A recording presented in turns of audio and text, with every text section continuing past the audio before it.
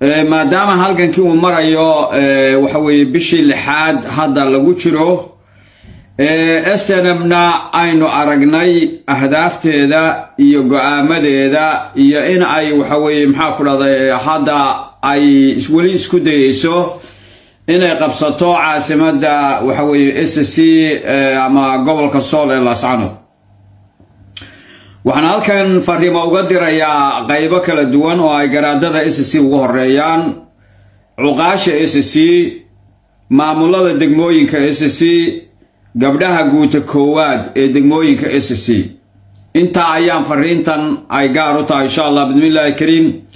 Haddaan ku bilaabo marka ugu horeysa garaadada s c waxaan leeyahay garaadow ummaddan waxa weeye madax meel ka sarraysa oo la salaaxaa ma jirto baa la yidhi.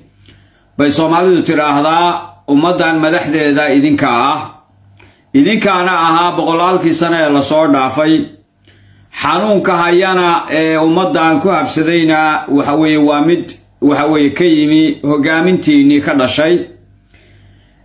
Waxa weeye soo jireenka ahayd intaas marka aan ka gudbo oo aan idin dareensiiyo inaan xanuun kale ummaddan aanu hayn oo ilaahay subxaana wa tacaala aayad qur'aana wuxuu ku yidhi in allaha laa yuqayiru qowman xataa yuqayiru maa bianfusihim. Ilaahay qoom ma bedelo waxa weeye ilaa ay iyagu isbedelaan markaa ummaddan ilaahay ma dayicin laakiin waxa dayacay hoggaankeedii baa dayacay baan leenahay. Taasi waa taariikhdii hore hadda waxa weeye maxaa ku dhaha muddo soddon sano ah ayaa ummaddani dalka soomaaliyeed uu burburay. Ummaddanna ay waxa weeye matalaadeedii iyo maamulkeediiba uu maqnaa. Arrimo jira oo idinka dhexdiina darteed ku dheeraan maayo waxaas.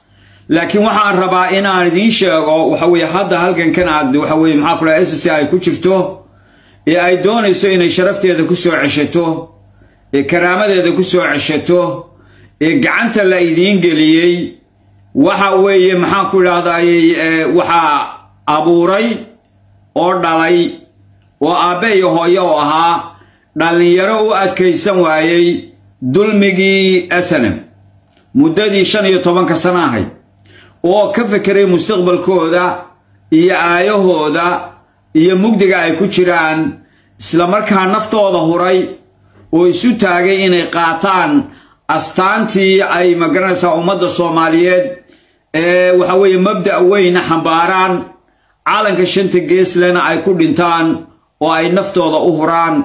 Waxaan leenahay ilaahay ha u naxariisto dhammaantoodba. Halgankaas waxa weeye maxaa ku dhahday ruuxiga ahaa ee quruxda badnaa ee ummadda waxa weeye soomaaliyeed iyo caalamkuba ay ka fajaceen ee waxa weeye indhaha caalamka soo jiitay ayaa gacanta laydin geliyay caalankii soomaaliyeed ee shanta gees baa gacanta laydinka saaray. Laydinkuna soo dhoweeyey. Waxa weeye maxaa ku waa dadaasheen. Ma odhanayo waxba idin qaban waa dadaasheen. Oo dee intii aad garan karayseen markaa idiin muuqatay waad qabateen laakiin dhaliilaa jira. Waxaan halkan u soo galay dhaliilaha inaan sheego. Waxaan halkan u soo galay inaan maanta dhaliilaha sheego sababtu tahay haddii aanan waxa weye maxaa ku dhahday aanan qul xaq walow kaana muran inaan xaqa aan caddayno ayaan ma garanaysaa tahay. Sababtu tahay haddii aanan xaqa caddayn oo waxa muuqda ee xumaanta ah aanan taaban dee adeer waxay nala tegaysaa meel daran bay nala tegaysaa iyo reer muskod cadowguna waa naga guulaysanaya. Sidaa darteed waa inaan sheegaa. Waxa aan maxaa ku dhahday caloosheeda ku jira waa inaan sheegaa iyo qaladaadka aan arko ee aad garaadow ma dhaqanow dhaqanka reersasiyow taagan ee dhinaciina ka jira.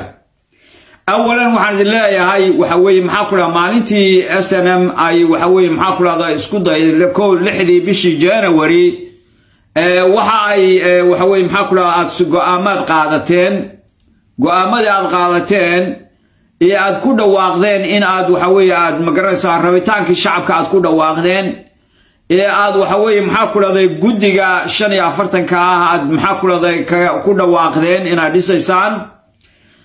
Waxyaabihii ugu muhiimsanaa ee waxa weeye hadafka go'aankiina suurtogelinaya waxaa ka mid ahaa guddigaas shan iyo afartanka. Ah dhaliishu meeshay ka jirtaa waxa weeye shan iyo afartan waxa weye maxaa ku dhahday kii xubnood. Waxa weeye maxaa ku dhahday lix bilood buu marayaa lix bilood bay marayaan. Dadka soomaaliyeed iyo dadka reer icc midna ma garan sababtu waxay tahay. Waxa lix bilood ay u fadhiyaan aad u haysataan guddigii aad ku dhawaaqdeen ee laydinka sugayey waxa weeye dadka soomaaliyeed ma garan dadka reer icc-na ma garan. Waa gaabis waa arrin aad maxaa ku dhahda ummadda soomaaliyeed iyo ummadda reer icc-ba ay idinku dhaliilayso. Inta cadowgu diyaargaroobayey ee uu hubka diyaarsanayey ee ciidamada diyaarsanayey ee maalinba wiilasha soo tababaranayey su'aasha meesha taalla waxa weye maxaad hayseen idinku? Waa su'aal dad kale aad ka raadinayseen wadahadallo kale aad ku jirteen ummado kalea wax idin yeedhinayey laakiin diyaargarowgii loo baahnaa ee dadkiina ma aydin samayn. Run baan idiin sheegayaa. Kow waxaan arkayaa waxa weeye maxaa ku dhahday in maanta la leeyahay waxaa jira dad soo hogaaminaya madaafiicda. Guddigaas shan iyo afartanka ah ee maamulka ah haddii aad magacaabi lahaydeen maxaa maxaa ku dhahda ka dhalan lahaa. Waxaa ka dhalan lahaa hogaamin toos ah iyo in lala xisaabtamo. Ciidamada in loo sameeyo hoggaan loo sameeyo. Ururada bulshada in hoggaan loo sameeyo. Badhaqaalaha in hoggaan loo sameeyo. Sharciga iyo cadaaladda in hoggaan loo sameeyo. Baa dhici lahayd maanta waxa weeye dadka la soo qaqabanayo ama kuwa maxaa ku dhahda dadka laynaya ha noqdeen ama kuwa waxa weeye maxaa ku dhahda calooshadu shaqaystayaasha ah ee madaafiicda sida la sheegaya soo hogaaminaya maxkamaddii xukumi lahayd baa loo baahan yahay. Maxkamaddii xukumi lahayd ee ma garanaysaa sharciga horgeyn lahayd ayaa loo baahan yahay. Dadka waxa weeye mukhaadaraadka iyo daroogooyinka iyo balaayada dagaalka hoose ku jira sharcigii xukumi lahaa baa loo baahan yahay. Waxa weeye waayo sharci xukum waxaana samayn lahaa waxa weye maxaa ku dhaha maamulkaa samayn lahaa. Maamulka maxkamadihii iyo sharciyadii samayn lahaa maamulka waxa weye maxaa ku dhahda shaqooyinkaa qaban lahaa dadkuna maamulkaasi u daba fadhiisan lahay. Idinkana waxaa idiin gacan banaanaan lahaa oo aad samayn lahaydeen. Waxa weeye maxaa ku waxyaabaha aad maraysaan iyo tolka aad dhex maraysaan iyo howlaha kale ayaa idiin banaanaan lahaa. Ee ma garanaysa maxaa ku dhahda banaanka ha ogaasoy lef ku jiraa walaal gacale. Lef ku jiraa kugu socday walaalay lif baan ku jira kugu soo celiya khayr allah ku siiye allah ku barakeeye marka walaalaha qaaliga ahow waxaan leeyahay dhaqanow si deg deg ah. Waxaa la idinka baahan yahay kow in aad dhammaystirtaan oo aad magacowdaan guddigii maxaa ku laha hogaamin lahaa ummaddan. Golihii ummaddan hogaamin lahaa ee ka saari lahaa marxaladdan ay ku jiraan baa laydinka fadhiyaa sida ugu dhaqsaha badan. Sida ugu dhaqsaha badan waayo waxa ku xidhan hogaan hogaankii baa ku xidhan. Waxa ku xidhan caalamka inay la xisaabtamaan baa ku xidhan. Waxa ku xidhan dadka waxa weeye cadowgu ay soo karaysanayaan in sharciyadii lagu xukumi lahaa baa ku xidhan. Waxa ku xidhan habayntii ciidamada iyo maxaa ku dhahda ayaa ayaa ku xidhan. Waxa ku xidhan maxaa ku dhahda degma deegaamada iyo ururada bulshada iyo maxaa ku dhahda isku dabriidka shacabka ayaa ku xidhan. Waxa ku xidhan wax badan baa ku xidhan. Marka waxaan leeyahay guddigaas golaha hogaaminta sida ugu dhaqsaha badan ayaa laydinka doonayaa sida ugu dhaqsaha badan ayaa laydinka doonaya allah idin waafajiyo.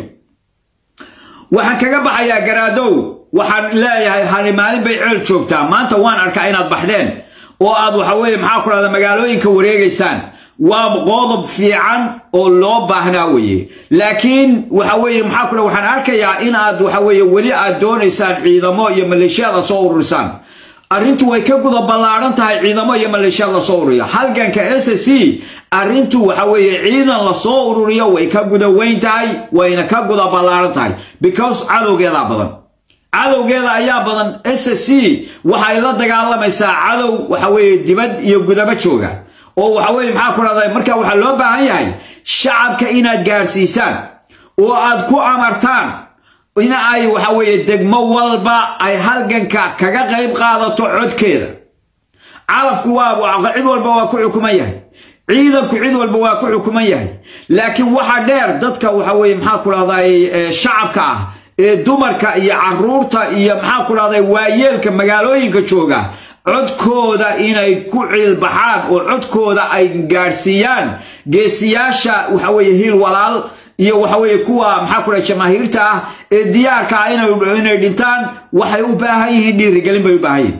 Waxay u baahan yihiin codkii ay ma garanaysaa ku seexan lahaayeen ee ay ku dagaalami lahaayeen ee naftooda ku huri lahaayeen ee ku adkaysan lahaayeen ayay u baahan yihiin marka waxaan leeyahay meelahaad maraysaan waa inaad gaadhsiisaan fariinta odhanaysa shacabka waa in lagula xisaabtamaa magaalo walba iyo degmo walba iyo tuulo walba oo s c ah cadowgana inay ilaaliso oo ay qabato oo tallaabo ka qaado horgallada la sheegayo oo maxaa ku dhaha lixda bilood laga sheekaynayo ee na lagu soo celcelinayo ee maskaxda naga wareeriyey magaalo walba horgalkeeda waa inay qabataa oo ay dhagax ku dishaa.